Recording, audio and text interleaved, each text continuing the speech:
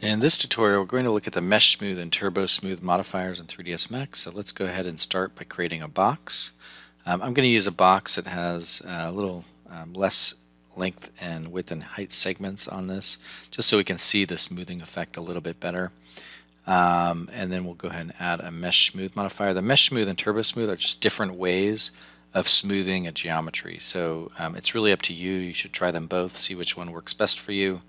I'll start with Mesh Smooth. You can see it automatically smooths the edge and I'm just going to add an edit poly modifier. We haven't covered that but just so you can see the how it's transforming the edges. Don't worry about it but we'll, we'll cover it a little bit later. Okay so you can see it's smoothing the edge there. If I go into my Mesh Smooth um, the way I can control that smoothing is through the iterations and one really important point is don't go over three iterations.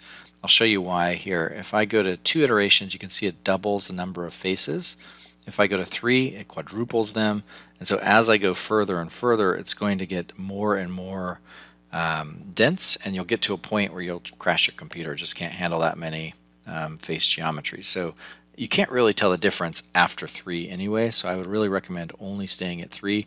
Don't use your toggles here, you'll crash your computer immediately, so just be aware of that. Um, the other thing you can do, so if I go back here, there's different subdivision methods. Uh, right now it's using NURMS. You can just try them and see which one works best for your geometry. It's going to depend on the form of the, the geometry and, and what kind of method you use and it will produce a different result. So I'd recommend just trying these. I typically use NURMS just because it looks the smoothest to me, but really it's up to you and whatever you're working on.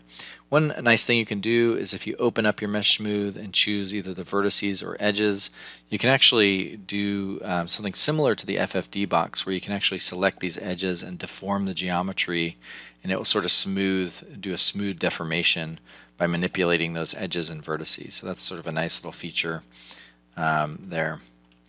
Uh, the other one, if I just right click and delete this, is the Turbo Smooth. So if I go to Turbo Smooth, it does very much the same thing. So again, it's really just a different method of producing smoothness. So I would recommend trying this and seeing which one works best for you. Again, don't go over three iterations. The one nice thing on both of these is you have a render iterations.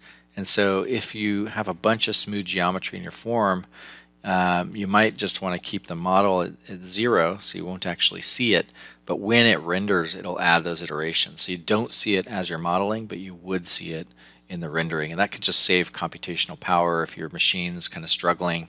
Um, so that's kind of a nice feature. You can also turn on uh, different things like the display if you don't have edge faces on. Um, this one doesn't have what Mesh Smooth has where you can move the edges and vertices so that's one drawback turbo smooth, but it really, again, it's just up to you and the, the look you're going for.